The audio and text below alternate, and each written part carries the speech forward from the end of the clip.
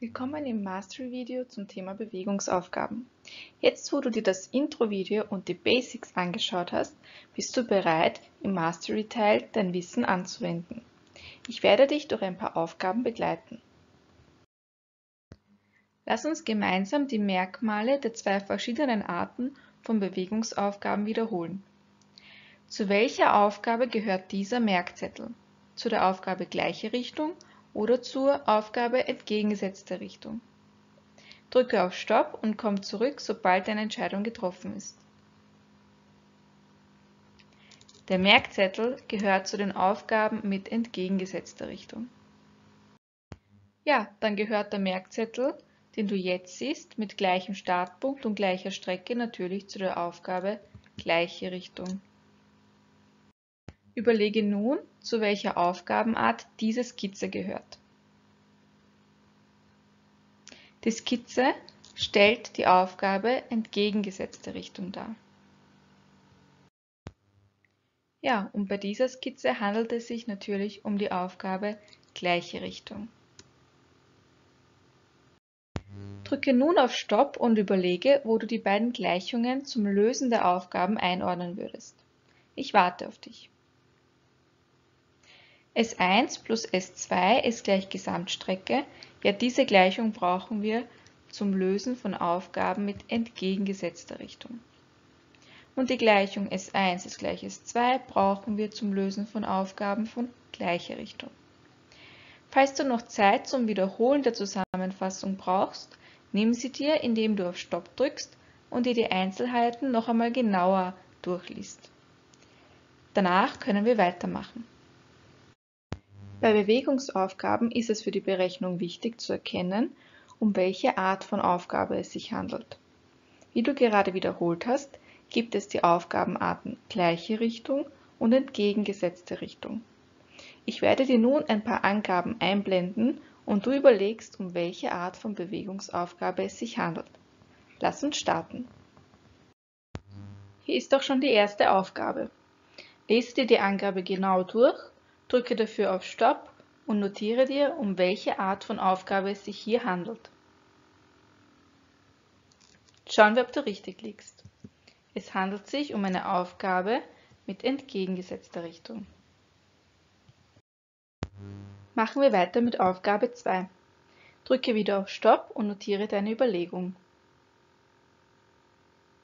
Auch hier handelt es sich um eine Aufgabe mit entgegengesetzter Richtung.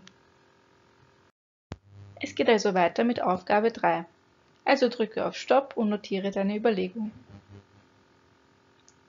Hier haben wir natürlich eine Aufgabe der Art gleiche Richtung.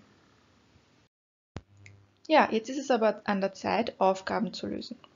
Du hast schon einiges gelernt und kannst jetzt dein Wissen anwenden. Überlege immer zuerst, um welche Art von Aufgabe es sich handelt. Danach erstellst du eine Tabelle und im Anschluss kannst du gleich die Berechnung durchführen. Ich gebe dir nun eine Angabe vor und du überlegst im ersten Schritt, wie besprochen, um welche Aufgabe es sich hier handelt. Lese dir also die Angabe durch und notiere deine Überlegung. Drücke dafür auf Stopp. Sehr gut. Diese Angabe hat die Merkmale des Aufgabentyps gleiche Richtung. Elias und Leo fahren beide vom Ort A ab, da Leo seinem Freund folgt. Starte nun mit der Tabelle. Sobald du diese hast, können wir vergleichen. Ich warte, bis du fertig bist. Vergleiche am besten jetzt deine mit meiner Tabelle. Im Anschluss kannst du mit der Berechnung weitermachen und zurückkommen, wenn du die Aufgabe gelöst hast. Vergiss den Antwortsatz nicht. Bis gleich. Weil die beiden in die gleiche Richtung fahren, setzen wir die beiden Wege gleich. Durch Einsetzen und Umformungsschritte erhalten wir für unser x 1,5. Das bedeutet, Leo holt Elias um 11.30 Uhr ein. Ich habe noch eine zweite Aufgabe vorbereitet. Wir gehen genauso vor wie gerade eben. Lies die Angabe, notiere deine Überlegung und komm zurück, um zu vergleichen. Wie du sicher erkannt hast, hat diese Angabe die Merkmale von Aufgaben mit entgegengesetzter Richtung.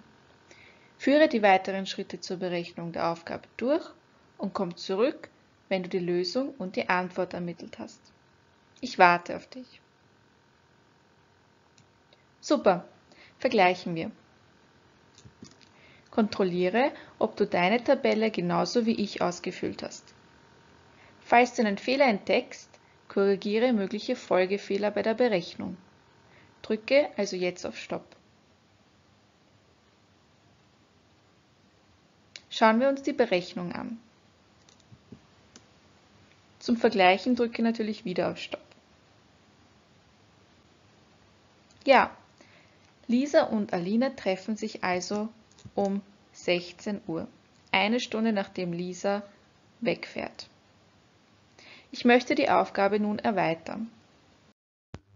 Zu dieser Aufgabe kommt also noch eine Aufgabenstellung dazu. Berechne, nach wie vielen Kilometern sie sich treffen. Sobald du deine Lösung und die Antwort hast, kannst du zurückkommen, um zu vergleichen. Drücke also auf Stopp und berechne, nach wie vielen Kilometern sie sich treffen.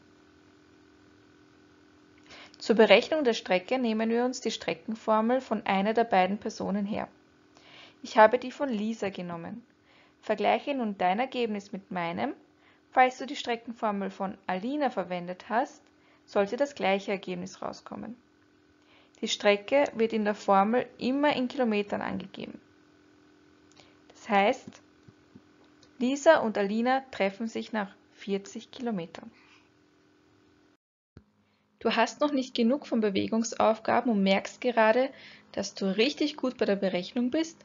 Dann spule das Video auf 1 Minute 55 und löse die Aufgaben 1 bis 3 auch rechnerisch. Ich werde dir am Ende des Videos die Lösungen einblenden, damit du vergleichen kannst. Und ja, du hast super mitgemacht und ich hoffe, dass ich dir nach diesem Videozyklus auch ein wenig zeigen konnte, dass Mathe auch Freude macht. Bis bald!